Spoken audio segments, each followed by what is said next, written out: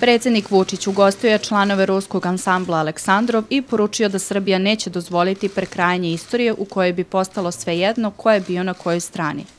Nećemo dozvoliti da nam oni u regionu, koji su bili na strani fašista u drugom svetskom ratu i na strani osvajača u prvom, drže pridike i predavanja o slobodi i drugačijem pogledu na prošlost, podvukao je predsednik. Mi ovde sedimo u zgradi koja je preko puta je park imeni Aleksandrov i Beograđani, Srbi i građani Srbije uvek će imati tužno sećanje na strašnu tragediju i 64 poginulih iznad Sočija, ali ćemo uvek sa velikom radošću i sa velikom željom da dočekujemo vas u našoj zemlji, dragi prijatelji. Ja sam siguran, bez obzira na nešto hladnije vreme, da će večeras ogroman broj ljudi biti ispred hrama Svetog Save, da vas čuje, da sluša, da sluša one koji su najbolji u svetu.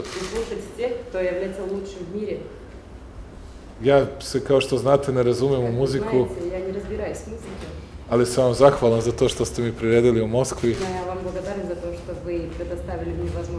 Jer sam to doživao kao veliku počast za Srbiju.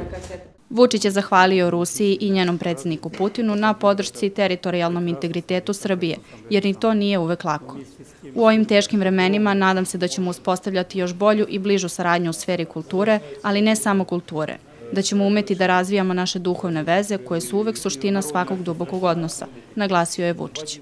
Jer mi očekujemo vašeg predsednika pre kraja godine. Mi slavimo pobedu u, prvo, u Prvom svetskom ratu, za razliku od drugih koji su sad uvek slave nekakva primjerje ili ne znam šta. Mi slavimo pobedu u Prvom svetskom ratu jer smo bili na pravoj strani, slobodarskoj strani, kao i u Drugom svetskom ratu. I to sam naučio između ostalog i od vas Rusa, da moramo da se ponosimo svojom slobodarskom tradicijom, svojim otačbinskim ratom. Bili smo na pravoj strani u drugom svetskom ratu, pobedili smo uz vašu podršku i zajedno sa vama, dragi ruski prijatelji, i mi ćemo da slavimo pobedu.